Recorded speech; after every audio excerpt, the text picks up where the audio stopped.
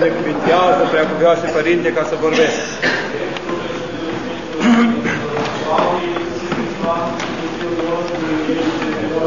Amin.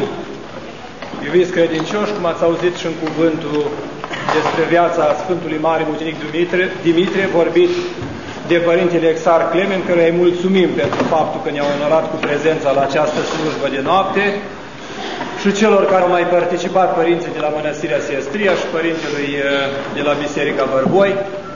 În primul rând, vă mulțumim și dumneavoastră care ați petrecut cu noi această noapte de mântuire, cum spune și la învierea lui Hristos, întrucât este una din jerfele pe care le facem față de multe lupte și de, față de multe osteneli trupești cu care ne ostenim de-a lungul vieții. Face ca în palmaresul sufletesc a fiecăruia să se mai scrie și câte o noapte de rugăciune, în care mulți sunt obosiți, mulți sunt rudiți, mulți sunt deja frământați de oboseala nopții, dar asta înseamnă că trebuie să avem doar 5 minute răbdare, nu voi vorbi prea mult, nu voi vorbi lucruri prea interesante, ci doar vă voi aminti că sunt trei forme de mucenicie este mucenicia Sfântului Mare Mucenic Dimitrie sau botezul prin sânge, prin care, după cum troparul mucenicilor spune întotdeauna, mucenicii tăi, Doamne, într-o nevoința lor, cu una nestricăciune au luat de la Tine Dumnezeul nostru.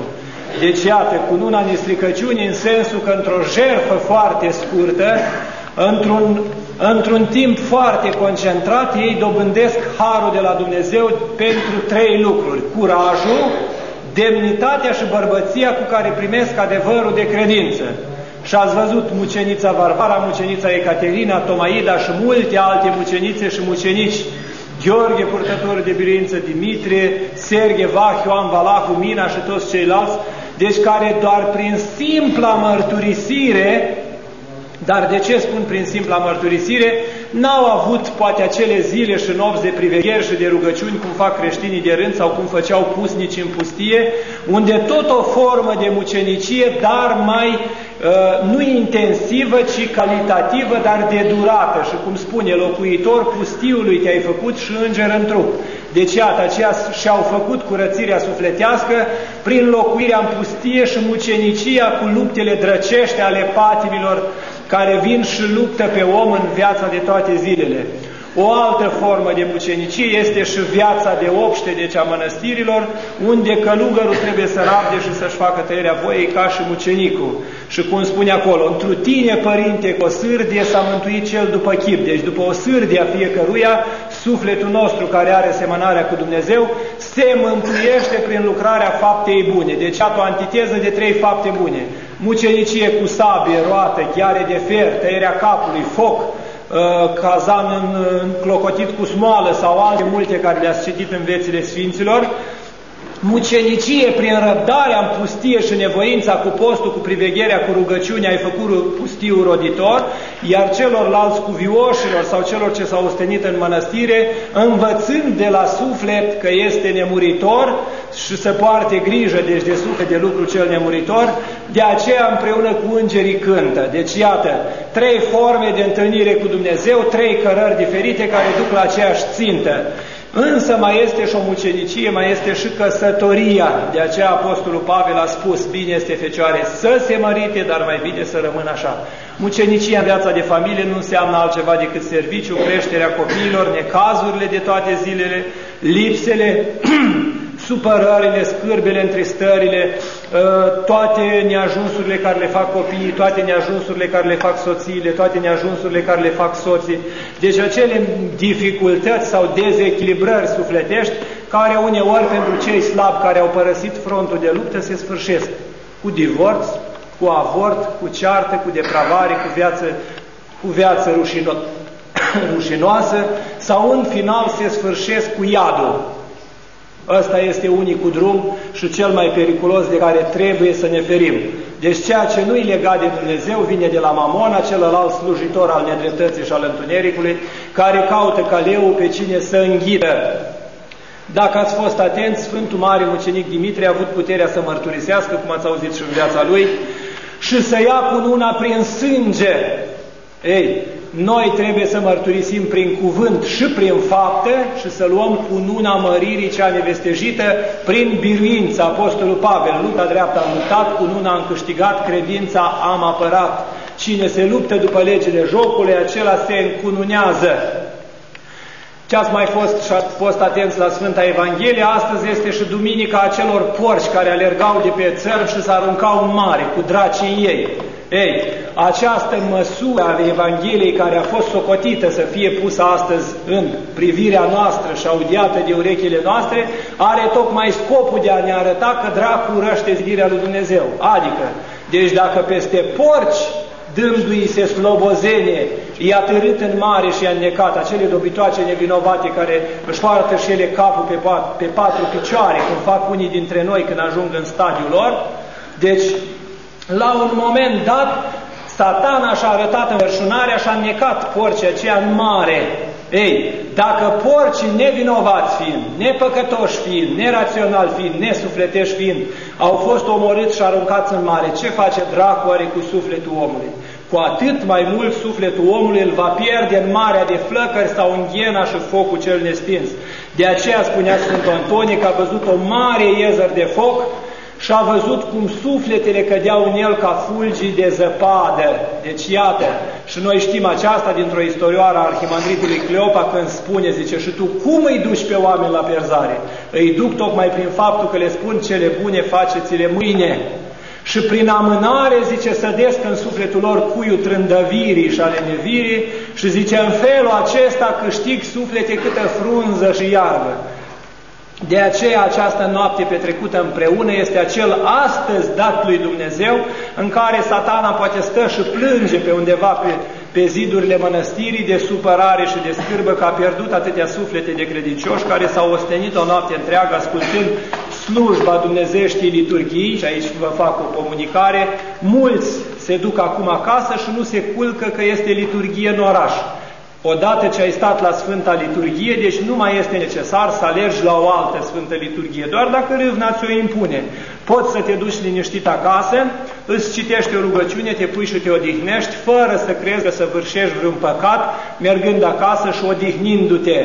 Pentru noi noaptea a fost zi, iar ziua va fi noapte, nu din dorința de a trândăvi, ci din dorința de a ne odihni după o noapte de osteneală. Așa este rânduiala privegherilor la Sfântul Munte. Un alt lucru care trebuie să-l știți este și acesta. Mucenicia, în primul rând, nu este un act inventat de oameni, ci Mântuitorul Iisus Hristos i-a dat o jertfă supremă și o putere supremă. Cel ce vine după mine să se lepede de sine. Lepădare de sine înseamnă mucenicia și ați văzut multe pilde în viețile Sfinților când mulți s-au lepădat și i-a părăsit darul lui Dumnezeu, iar acele lepădări din vremea viețile, vieților Sfinților se repetă astăzi prin trei mari categorii de oameni.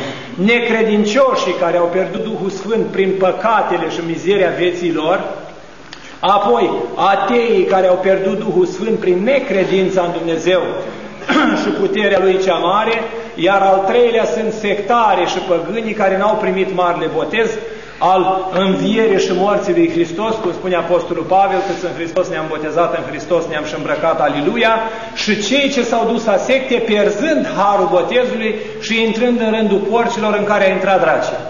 Deci trebuie să fim culoarea minte, să nu fim victima acestor dragi care găsind porcii noștri sufletești descoperiți în patim și în păcate, să ne tăvălească la prăpastia pierzării. Când simțim că porcii noștri o iau la mare, să punem imediat hotar cu rugăciunea, cu postul, cu spovedania, cu Sfânta Împărtășanie și chiar făceam un comentariu, am spus că mulți au confundat noaptea de priveghere cu o zi de Crăciun. S-au spovedit atât de mulți și atât de mulți se împărtășesc, încât avea impresia că acum te afli în postul Crăciunului. E lucru frumos, bun și demn. De ce spun? Nu de mândrie, ci înseamnă că deja în post vom intra bine pregătiți sufletește, deci nu vor mai fi probleme să stai și să dezbați, să vezi omul unde s-a împotmolit. Se pare că noi suntem cei pe care Hristos i-a mângâiat în creștet și deja satana nici nu s-a mai apropiat. De aceea spune Mântuitorul, ce voi răsplăti Duhul Sfânt în psalmi? Domnului pentru toate câte mi-a dat mie, paharul mântuirii voi lua și numele Domnului voi chema. Deci toți cei ce s-au ostenit în această noapte, și cei cu aghiazma mare, toți sfințenii au împlinit, și cei cu sfintele taine, toți sfințenii împlinesc, și cei ce s-au trândăvit sau au venit din pură curiozitate, toți sfințenii împlinesc. Este mare lucru să te ostenești o noapte la rugăciune când puteai să o petreci în pat, la film sau la nuntă. Următoarea priveghere de toată noaptea va fi, se pare, de Sfântul Apostol Andrei întâi chemat la 29 noiembrie, parcă spre 30, deci tot sâmbăta spre Duminica, fiindcă este și o mică fărâmă din Sfintele Moaște ale Sfântului Apostol Andrei în caseta de pe analog, și încă un lucru care trebuie să vă rămână în minte, nu numai privegherile din noaptea aceasta, ci privegherea în noaptea acestui întuneric în care trăim pe stradă să ai priveghere în minte și prezența lui Dumnezeu, în autobuz priveghere în minte, la servici priveghere în minte, în familie priveghere în minte, la masă priveghere în minte, pe stradă priveghere în minte, oriunde ai fi, cum spunea uh, Duhul Sfânt în psalm, în tot locul stăpânirii Lui binecuvintează sufletul al meu pe Domnul. Chiar și atunci când te speli dimineața pe față și îți speli dinții și fața și le ștergi cu prosopul și atunci să ai pe Doamne Iisus în minte. De ce?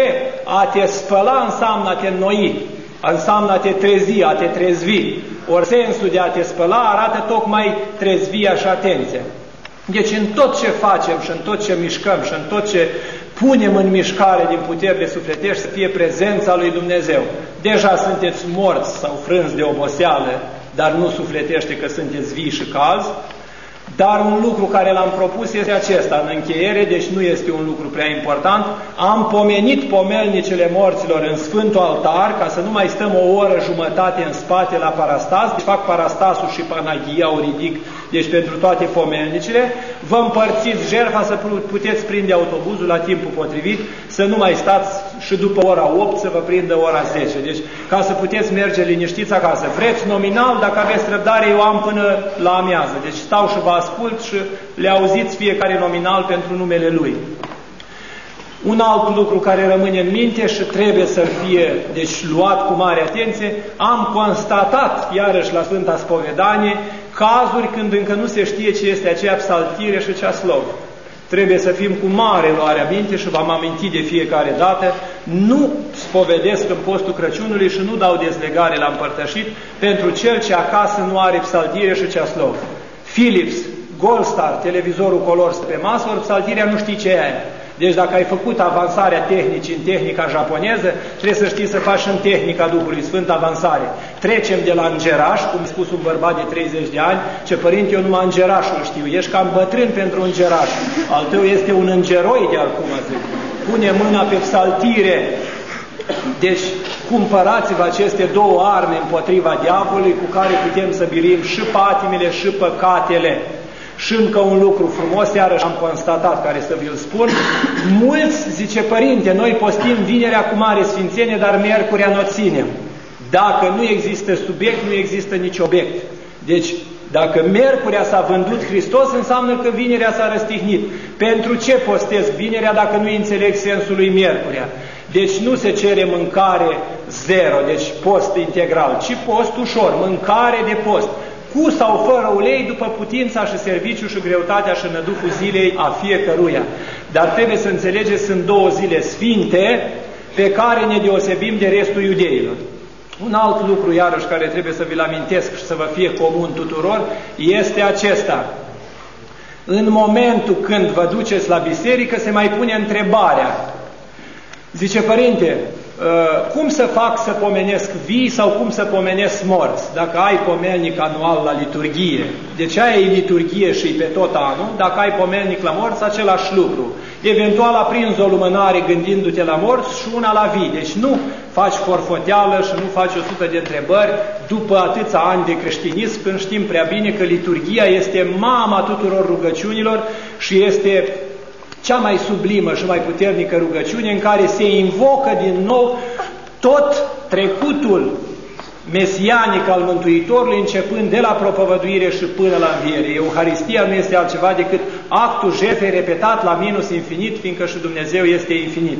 Și un alt lucru care să fie cu luarea minte, fiindcă se apropie postul și fiindcă se apropie iarna și s-au mai terminat muncile, căutați să puneți cât mai mult accent pe recuperarea canonului și a pravilei din timpul când ați pierdut vremea pe la desfăcat, pe la trăierat, pe la secerat, pe la semănat, pe la strâns de pe ogoare. Adică acel canon care l-a dat duhovnicul să nu-l luați în derâdere din două motive. Îl facem în iad de aia s-a dat puțin, de aia s-a dat pe înțeles și ușor tuturor, dar trebuie să știm că el trebuie respectat. Am mai întâlnit cazul ce părinte n-am făcut canonul. Ia ghează ca să te împărtășești altă dată. Deci nu putem să fim fără trezvie. Nu pot să fiu astăzi credincios și trei zile necredincios. Cam astea au fost problemele. În mare ați auzit destule vețile Sfinților confirmă Sfințenia tuturor Sfinților, patericul egiptean sau patericul românesc vă confirmă viața tuturor cuvioșilor și o carte bună și frumoasă care v-aș recomanda-o acum să o căutați, este acea carte a părinților contemporani de la muntele Atos. Ei au murit, bineînțeles, dar au lăsat o foarte frumoasă experiență duhovnicească în ceea ce s-a scris în acea carte, sunt doar cinci veți de părinți, o să o găsiți probabil Mitropolia Golea, ci unde se vinde, este foarte, foarte, foarte bună și în special recomandată tinerilor. De ce? Tinerii alunecă foarte ușor în panta asta a isihasmului. Ei vor deodată, Doamne Iisuse, Ori acea carte arată câtă nevoință au făcut acele prototipuri de călugări până au ajuns într-adevăr la mucenicia isihasta de săvârșirii rugăciunii lui Isus. Să nu ne amăgim cu fapte slabe, adică unii cred că dacă s-au rugat un timp au dobândit o treaptă și nu o mai pierd. Azi poți să fii pe treapta întâia de rugăciune și mâine poți să fii sub toate treptele. Sau azi poți să fii în vârful piramidei, cum mi-a spus cineva și părinții de acum la sfințenie. Da, da, da, deja ești la mândrie și deja dracul e lângă tine. Deci nu suntem la sfințenie, suntem în starea de potență de a păcătui. Oricând, la orice clipă, poate veni un gând spurcat, o hulă, o judecată, o clevetire, o mândrie, o nepăsare, o lene, o trândăvie și Duhul Sfânt se depărtează și am căzut exact unde am plecat. Exact ca și un snop de paie ce stă în picioare și uscat, iar când cade jos și ludă ploaia, putrezește. Deci permanent trezvia atenției, care este mama înțelepciunii isihaste. Acest lucru vi l-am amintit pentru că iarăși întâlnesc la spovedit cei care mi-au spus, Părinte, zice, zice, zic Doamne Iisuse și nu sporesc. Păi ce vrei, să sporești și cu privatizarea în cap și cu Doamne Iisuse? Deci, ori ești isihas și te liniștești definitiv, ori te rogi ca toți creștinii și nu mai cauți, uh, nu mai cauți imposibilul. Imposibilul se dobândește acolo unde nu se crede. Sunt cazuri, sau poate fericiți sunt cei care au ajuns la această rugăciune, dar ei nu, nu o publică, să știți, nu, nu merge și întrebe de altul cum să mă rog. Să roagă în legea lui, inima lui plânge, să veselește, să îndulcește, să miresmează și asta e o mare taină a lui Dumnezeu pentru cei ce se unesc cu El. Orice femeie care Orice femeie care prinde dulceața unei mâncări nu-i vinde ușor patentul. La fel și rugătorul cu rugăciunea lui Isus nu o să se destăine el vreodată în adâncul tainei sale cum s-a dobândit această rugăciune. De ce? Însuși experiența Duhului Sfânt nu i-o permite să exprime această stare de bucurie. Deci degeaba te învăț eu despre Doamne Iisuse din carte sau din filocalie, dacă mintea ta nu, nu înțelege, nu pricepe. Deci să vă faceți întâi mucenici cu ascultarea de familie, cu ascultarea de soț și soție, cu ascultarea de preot duhovnic și de biserică și mucenici în ascultarea față de Dumnezeu prin pravilă, canon, rugăciune. Amin.